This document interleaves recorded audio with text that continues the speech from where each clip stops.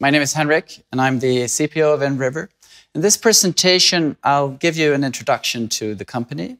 Uh, we'll talk about the platform and some of its key concepts. But I also would like to say that in addition to this presentation, uh, we also made a product demo, which I encourage you all to, to see. Uh, but first, let's have some, some introduction to the company, some facts. So uh, InRiver is a software company. We were founded in Sweden, in Malmö actually, in 2007.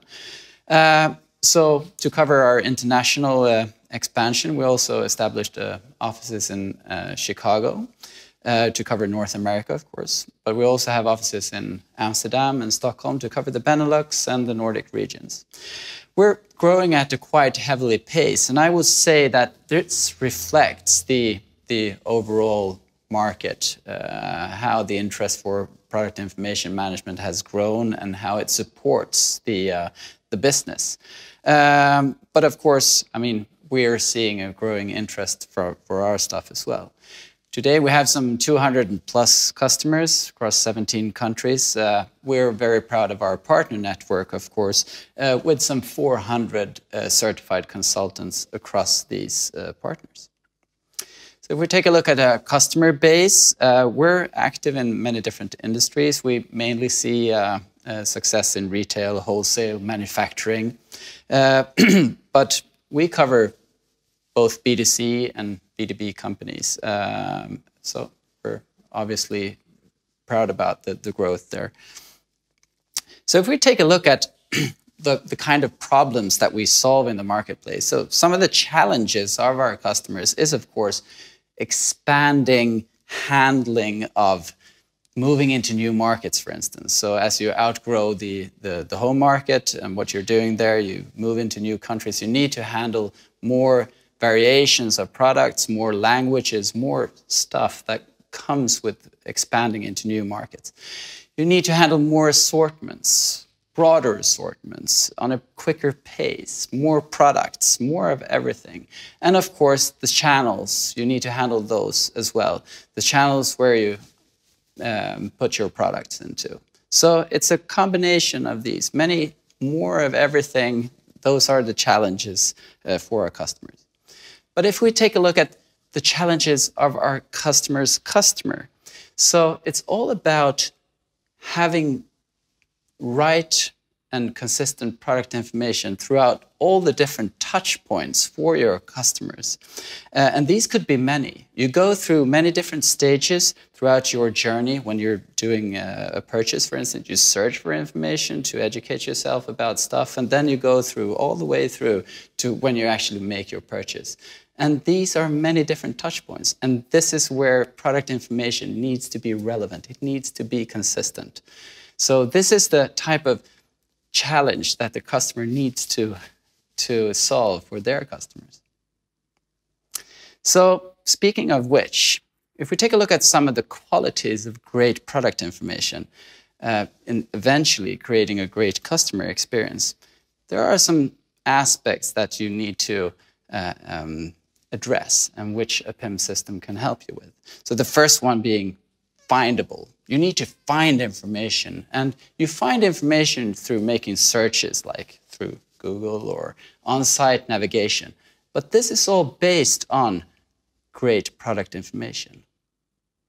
The next one to create value here is that the information needs to be correct. So you need a system in place to be able to provide that correct information.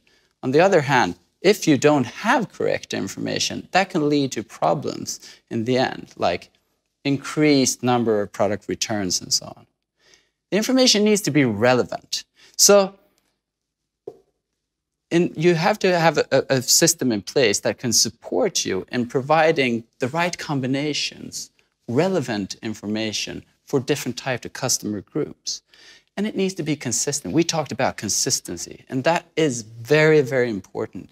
If you don't have consistent information throughout your different channels, that would lead to confusion, and that's not a good place to be. Um, it needs to be desirable. So with a PIM system in place, you can work with lots of different media types, like you can have pictures, videos, all the type of information uh, that uh, helps you to sell your products. This needs to be managed, and it adds value if you can do that. And of course, contextual. So it, you need to have different types of information through different devices, for instance. It could be different from uh, the information that you provide on a, on a cell phone or a, through computer and so on. So all this combined creates a lot of value, and this is exactly what we address with the PIM system. if we take a look at what the analysts are saying about this, we, picked this up from Forrester.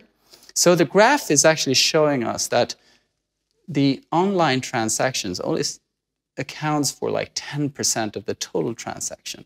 But the product information or the online information that has an effect on the overall sales, it's huge. It's more than 50%. So online information is very important in this aspect. So when we come to our customers, we often find a situation which we refer to as content spaghetti. This is very much about you start off with a limited number of products or assortments, and then you gradually grow this. Uh, and along that way, you add more people into the process, you add more files into the process, and which you store in some different places the, throughout the organization. And when you start to grow this, it doesn't really scale. And this is, it's not reusable and so on. And this is where you, in the end, don't have a consistent workflow which will create this mess, so to speak. We refer to it as content spaghetti. We see this all the time. So another challenge for the company uh, could be that you start to work with one channel, and that's all fine. You create the product information for, for that channel. But as you add more channels, uh, these will work in isolation, and you run the danger of creating two versions of the truth, which isn't great because it doesn't provide or support consistency throughout these channels. And it creates double work and so on. And it also adds to the complexity as you move into new markets, you add more uh, languages and so on. So it adds to creating that siloed uh, environment. Now, our solution to all this, the content spaghetti and the risk of creating silos of information throughout the uh, organization, is of course the InRiver PIM platform. So the InRiver PIM platform supports four very important stages or core stages. Uh, this is the supply phase, the enrich phase, the plan and release phase, and the publish phase. So if we start with the supply phase, which is in the bottom of this picture. Uh, this is where you connect back to your source data. And you create, you extract that data, and you create the first marketing model, which we call it. Uh, and on the left-hand side of this picture, this is the enrich phase. And this is where you have your people, your product management or category management and, and product owners to start creating those wonderful product stories. Uh, uh, which eventually will sell the product. Then, in the next stage, you move into the plan and release. And this is where you plan your assortments for different types of channels. You plan when in time these should be. And then the publish phase on the right-hand side. And this is where you make sure that you have the connections out to the different physical selling channels like your, uh, your print or your mobile or your e-commerce sites. So that's the sort of overview of the InRiver PIM platform. So a very important concept to us at InRiver is our PXM concept, the product experience management concept. And this is where we combine three very important parts. We have a foundation of product information management, the PIM part, in combination with DAM, digital asset management capabilities, and also market resource management capabilities. And all this together creates something which is more powerful and stronger than the sum of its parts. So that is essential to our platform, the PXM, Product Experience Management. So that was an introduction to the company uh, to our platform and some of the key concepts. If you're interested in learning more about this, please visit our website and take contact with us. I would like to thank you very much for uh, listening and watching. Uh, and again, I encourage you to look at the, the product demo that we also recorded. Thank you very much. Take care. See you.